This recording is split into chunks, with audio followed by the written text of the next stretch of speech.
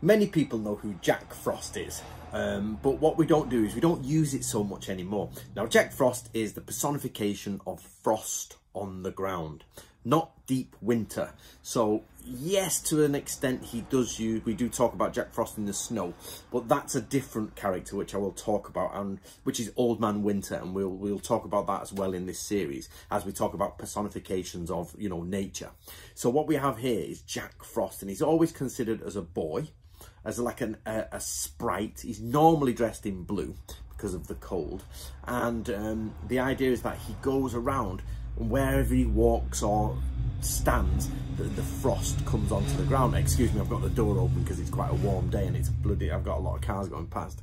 So what we've got here is the idea that when it's cold and when you get frost on the ground, just that crisp layer of frost, you have to say to your children, oh, Jack Frost is around. Look, Jack Frost has been.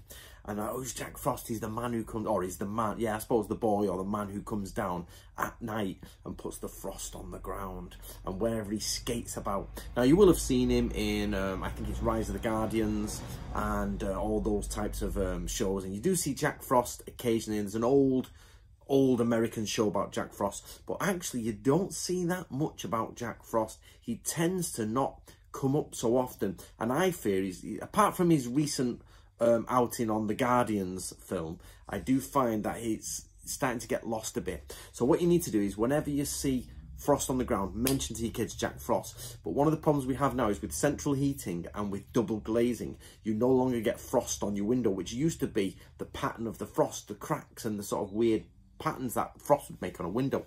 They don't seem to come anymore because we've got these like double glazing heated windows, so you don't really get it so much. So unfortunately, you can't show it in the way they did in the old days. Unless, of course, if you're a bit wealthy, you can have a shed made and have just single pane glass and, you know, we can sit in there and say, oh, Jack Frost, you know, but I doubt anybody's going to do that. I'm going to. I'm moving soon. I'm going to go into some land and I'm definitely, definitely going to actually um, get a single pane glass windows put in place so I can see Jack Frost in the winter. Not in the house, in the outside um, environment. Right, guys, I hope you enjoyed it. Um, as you can see, I'm moving house, so sorry for the mess.